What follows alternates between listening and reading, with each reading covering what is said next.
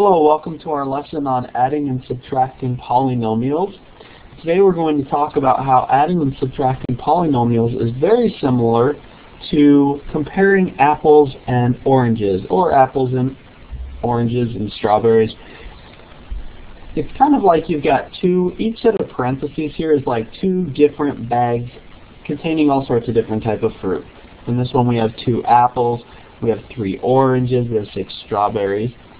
And then from that bag we are subtracting three apples, two oranges, and one strawberry.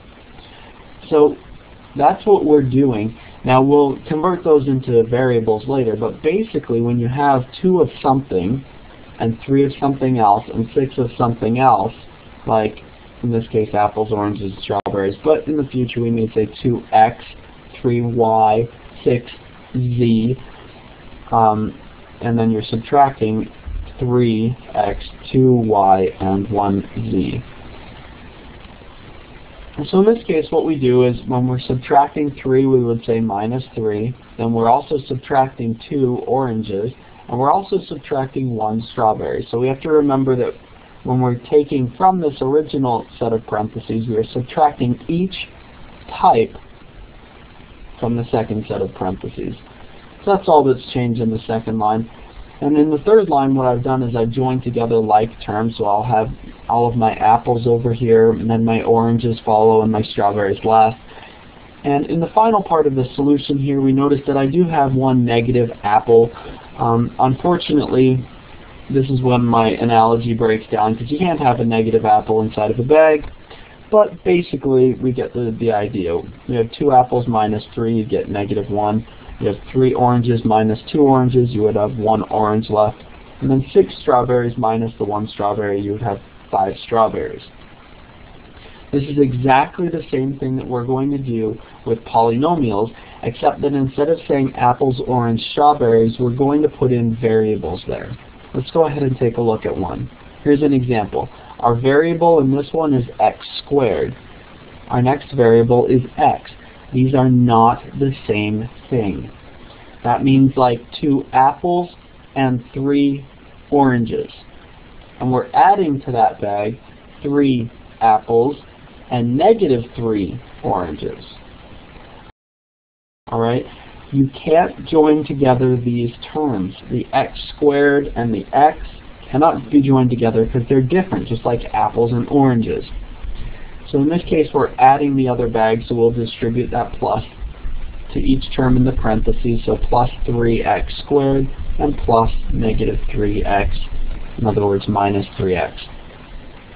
I'm going to move around my terms so that they line up with each other, and you'll end up with 2x squared plus 3x squared, and positive 3x minus 3x. And you'll notice I'm going to join together these terms that are exactly the same the variable is exactly the same. So I'll end up with 5x squared and 0 x's because we have 3 minus 3. And so our final answer will just be 5x squared. And continuing on with our food theme, we're going to have, I don't know, this is 5 ice creams maybe. With a bit of a larger polynomial here, we are adding again, so we're going to add 4a, we're going to add negative 2ab, and we're going to add a positive b. So in our first step it will look like this.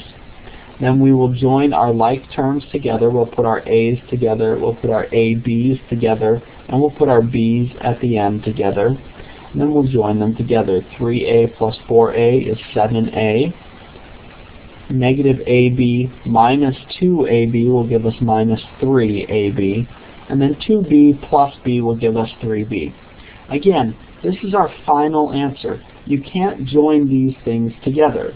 It's like having 7 of something, minus 3 of something, and then positive 3 of something else. Because they are different variables, you can't join them together. Just like you can't join together different types of food. Alright? Let's look at our next question. This time we'll be subtracting polynomials. I'm going to distribute that negative to each term inside of the parentheses. So I'm going to be subtracting 3x squared, negative 3xy's. So minus negative 3 will give us a positive 3xy. And then we will be subtracting y squared. We'll also join together like terms. And when we have our like terms joined together, now we're going to go ahead and subtract 3x squared minus 3x squared will give us 0x squared. We have negative 2xy plus 3xy. That will leave us with 1 positive xy. We have 2y squared and negative y squared, so we're going to end up with just 1 y squared. I like this example, and I put in all these ones and zeros to kind of show us a little bit. When you've got a zero in front of a variable, I mean 0 times x squared, and that means that it will cancel out and disappear. When we have a 1 in front of a variable, it's 1 times xy, so we'll just end up with xy.